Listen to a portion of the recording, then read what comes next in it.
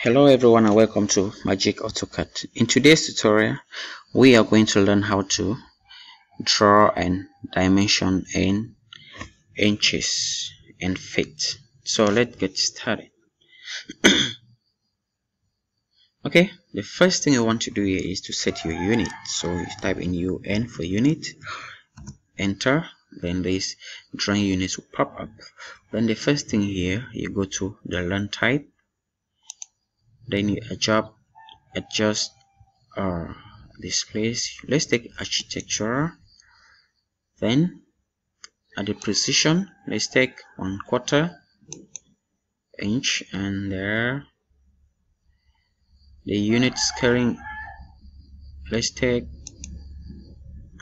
here we take inches okay? Let's take inches here. Then we click on ok then let's go to the rectangle. Then you click on the first point. Let's type in 10 10 feet. Enter. Tap by 5 feet. 5 feet. Enter. Okay that is our drawing so how do we dimension it we go up to annotation. Drop down. You select standard. Then this dimension style manager will pop up. Then you go to modify. Let's modify. Then this modify dimension style standard will pop up.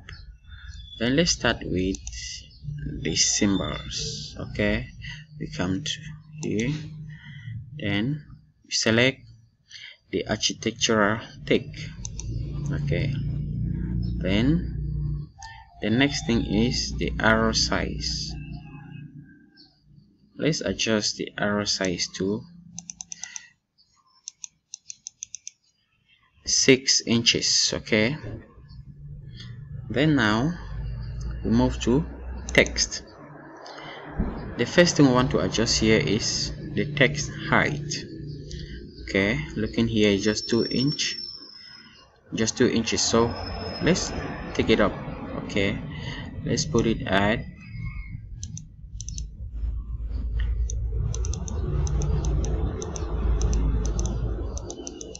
eight inches. Good. Put it at eight inches. Then we go to the primary unit. At the primary unit we look at the unit format. Primarily we're using architecture okay? You select architecture then we go to precision which we used one quarter inch. Then you go down to okay? That's all for now. You click ok then you close here then you go to your linear dimension and that is 10 you go back left click and let go. You click here and click here. That is 5 feet so it depends on you. It all depends on the size of your dimension. So what if you want the dimensions to be larger than this you go back to annotation it depends on you. Let's see. Take standard modify. Then you go to text. Let's increase the text height to see. Let's say one feet okay? Let's take it up to one feet. Okay here is one feet. Okay. Then we close so you see that the dimension have increased okay? The size of the dimension has increased. So what if you want to drop it to reduce the dimension? Then you go back to modify go to text. Let's bring it down to maybe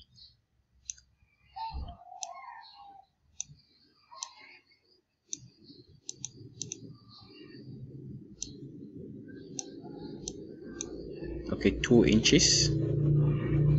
Okay. We close. So you see that our dimension have drastically reduced. Then what about the arrowhead? Let's see the size of the arrowhead. You go back to annotation standard modify. Then you go to symbol and arrows then you go down to arrow size. So you can reduce here okay? Let's bring it down to two inches okay? Click ok.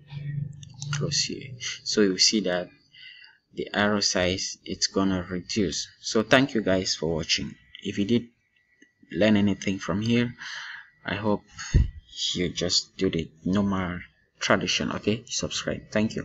See you in our next tutorial